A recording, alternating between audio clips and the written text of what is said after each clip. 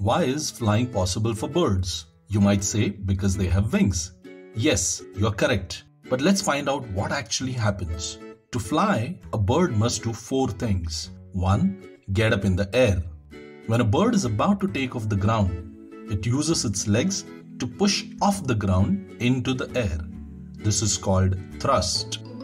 Then they flap their wings to stay in the air. This is called a lift. Using thrust and lift, a bird is able to fly.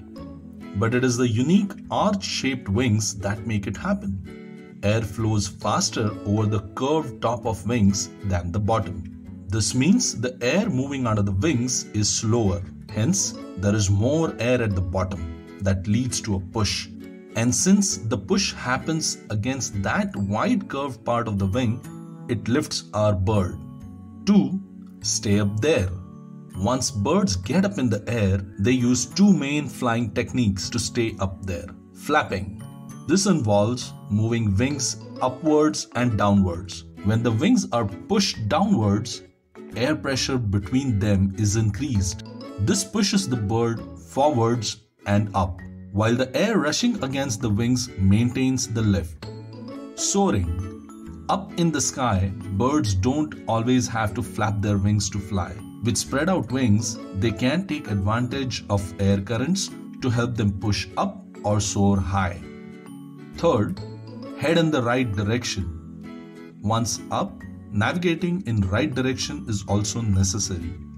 Soaring birds narrow their wings and glide in the direction they want to move while flapping, birds can get where they want if they just point themselves in the right direction and fly. Fourth, coming down safely. A smooth and safe landing is as important as flying. Many birds can fly fast until the last seconds and still land easily and safely. To slow down quickly, they change the angle of their wing to be higher and higher, increasing drag. That is, to slow their forward movement and decreasing lift, that is, to help them move downward. Some birds need to slow down for a longer time in order to make a safe landing. Many ducks, geese, and cranes use their outstretched feet as well as their open wings to increase drag, acting as brakes to slow them. Besides wings, there are lot many other things that help them to fly streamlined boat-shaped body to reduce air resistance during flight, hollow bones and strong flight muscles, lungs with air sacs for storing more air and flying long distances, beak and nose fused together to reduce weight. Trivia time. Do you know hummingbirds can fly forward, backward and even upside down?